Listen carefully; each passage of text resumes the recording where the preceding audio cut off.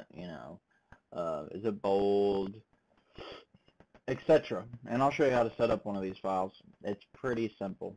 So I'm going to copy this.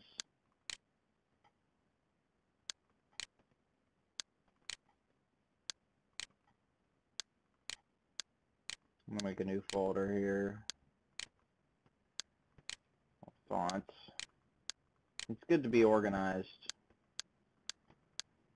Okay.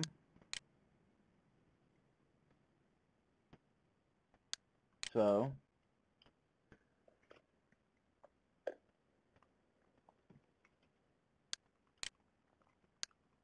so let's include that.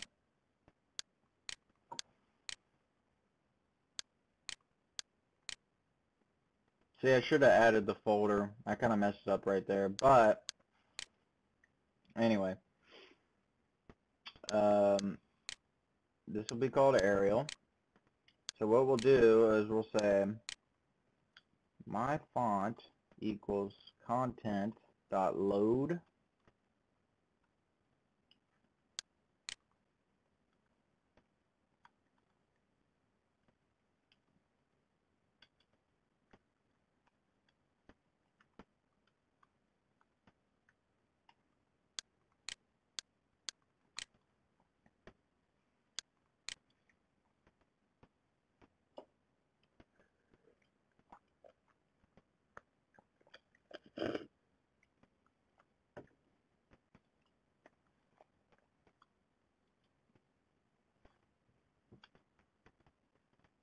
Okay, so what we're going to do, oh wait,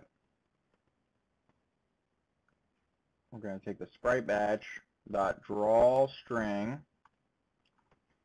and then we're going to put our sprite font in there, my font.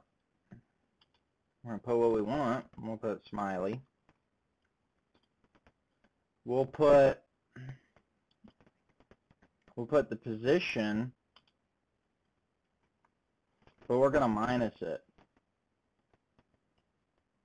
Um, we're going to minus it, uh, well actually the best thing would probably be to do is, we got more options in here and I'll show you how to use them. So the position's the same and then we'll say color dot white rotation put zero the origin, that's what I wanted to show you. Okay, basically when we adjust the origin,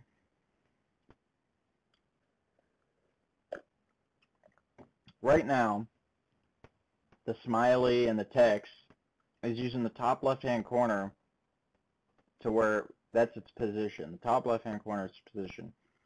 If you want to change that, you change the origin.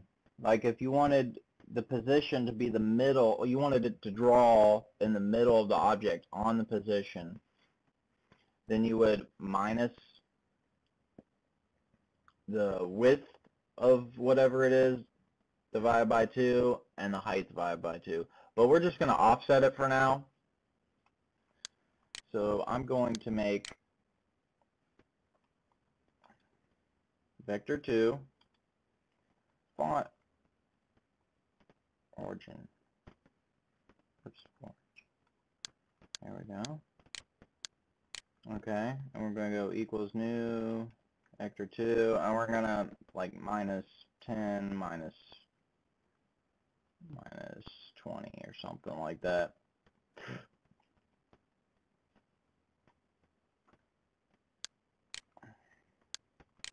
Just to give it a little bit of an offset, and then we'll add that in here.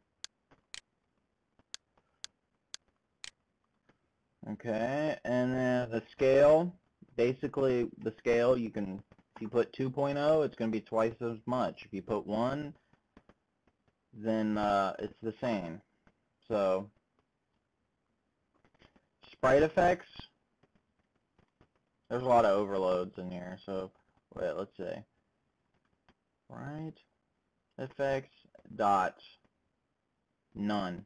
Basically, you can flip the texture vertically or horizontally or both. Float, layer depth, I'll show you more on this. Basically, when you draw, you have options where you can either make it, when you draw something, depending on how late it is, is how high it is. So if you draw the first object, the second object's going to be over top of it in one option.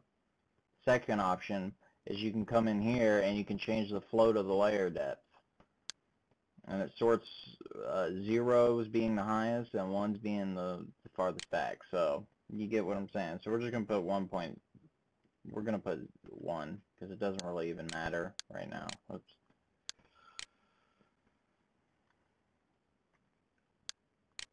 Okay, let's test that out.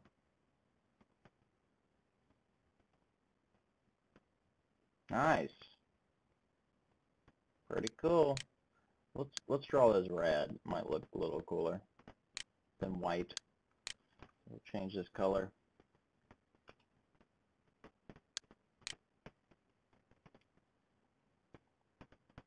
Nice.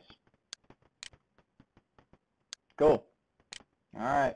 Um, thanks for watching, and tune back in for more uh, tutorials.